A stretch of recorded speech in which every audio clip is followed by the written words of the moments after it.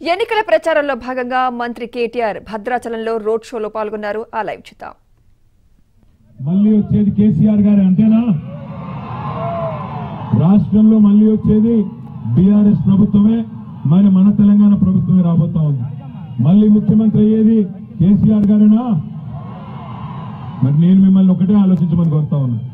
కేసీఆర్ గారు ముఖ్యమంత్రి అవుతున్నారని తెలుసు. కేసీఆర్ గారు ముఖ్యమంత్రి అవుతున్నారని తెలుసు.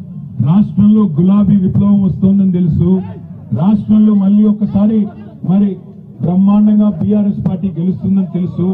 తెలిసినప్పుడు ఇక్కడున్న విఘ్నులైన సోదరులని సోదరి మండలిని భద్రాచలంలో ఉండే చైతన్యవంతులైన అన్నదమ్ముల్ని అక్క చెల్లెల్ని నేను కోరేది ఒకటే. పోయిన రెండు సార్లు సరే కారణాలు ఏమైనప్పటికీ మీరు మాకు అవకాశం ఇవ్వలేదు ఈ ఒక్కసారి మాకు అవకాశం ఇచ్చి చూడండి. గులాబీ వనంలో గులాబీ వనంలో మరి మీరు ఇట్లా లొలి పెడితే తమ్మి. గులాబీ వనంలో గులాబీ వనంలో మరి భద్రాచలం కూడా ఈసారి చేరాలి. ఖచ్చితంగా భద్రాచలంలో కారు గుర్తు గెలవాలి అని నేను మీకు విజ్ఞప్తి చేస్తా ఉన్నాను ఎందుకు? ఎందుకు గెలవాలి?